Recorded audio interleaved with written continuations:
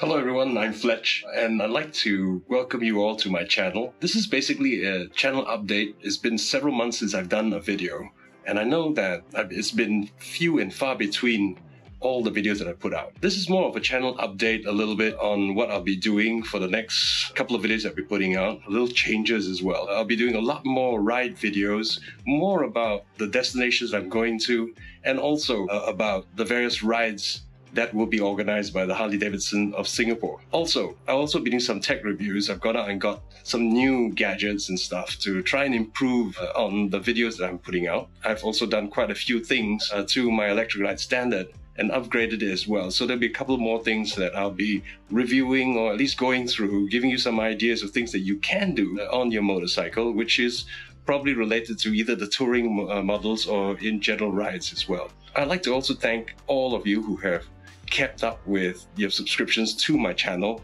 Uh, thank you very much for being there with me uh, and on this particular journey.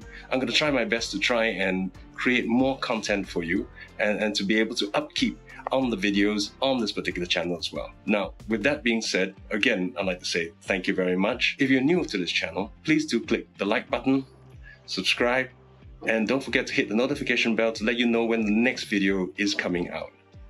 Once again, thank you very much for joining me. I'm going to leave you with this video I just did a couple of Sundays ago uh, on a little ride to the handlebar, which is one of the biker bars that we have here. Biker bars, not meaning uh, one of those bars, but basically it's a restaurant uh, and it's well known uh, in Singapore. And they do have a couple in uh, Thailand as well. They've got great food. And probably at the later stage, I'll do one specifically about the history of the handlebar and the area that it's with and how it relates to me personally uh, as well. Thank you very much and do have safe rides.